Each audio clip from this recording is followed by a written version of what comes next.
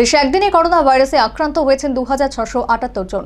আর corona থেকে সুস্থ হয়ে উঠেছেন দু তবে এই মহামারী প্রতিরোধে গত চব্বিশ ঘন্টায় প্রায় পাঁচ লক্ষ চুরানব্বই হাজার ডোজ দেওয়া হয়েছে। দুর্গোৎসবের পর্ব সাঙ্গ হয়েছে। আসছে আলুর উৎসব দীপাবলি এবং এরপর ভাইফোঁটা। এসবের মাঝে আশঙ্কার কাটা দেশের করোনা পরিস্থিতি। কমেও যেন কমার নাম নেই দেশের দৈনিক করোনা সংক্রমণ। বাড়ছে অ্যাক্টিভ রোগীর সংখ্যাও। শুক্রবার কেন্দ্রীয় স্বাস্থ্য মন্ত্রকের পরিসংখ্যান অনুযায়ী গত চব্বিশ ঘন্টায় দেশে নতুন করে করোনা ভাইরাসে আক্রান্ত হয়েছেন দু হাজার জন। এই মুহূর্তে অ্যাক্টিভ করোনা রোগীর সংখ্যা পঁচিশ হাজার পাঁচশো তিরাশি, যা আগের দিন আরও খানিকটা কম। তবে ঊর্ধ্বমুখী অ্যাক্টিভ কেস চিন্তায় রাখছে দেশের স্বাস্থ্য মহলকে দেশে গত চব্বিশ ঘন্টায় করোনা থেকে সুস্থ হয়ে উঠেছেন দু হাজার পাঁচশো চুরানব্বই জন।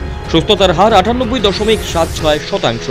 এদিকে ভারতের পার্শ্ববর্তী দেশ চীনে নতুন করে আতঙ্ক তৈরি করছে করোনার দুটি সাব ভেরিয়েন্ট এই ভ্যারিয়েন্ট অতি দ্রুত ছড়িয়ে পড়ে বলে অভিমত বিশেষজ্ঞদের।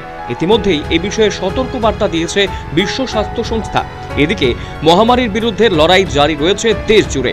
কেন্দ্রীয় স্বাস্থ্য মন্ত্রকের তথ্য অনুযায়ী, গত চব্বিশ ঘন্টায় প্রায় পাঁচ লক্ষ চুরানব্বই হাজার ডোজ দেওয়া হয়েছে।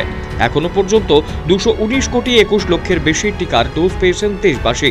চলছে বুস্টার ও প্রিকশন ডোজ দানের পালা। সব মিলিয়ে দেশে মারণ ভাইরাস করোনার বিরুদ্ধে সংক্রমণ প্রতিরোধে যুদ্ধকালীন তৎপরতায় ব্যবস্থা গ্রহণ জারি রয়েছে। Bureau report, news Vanguard.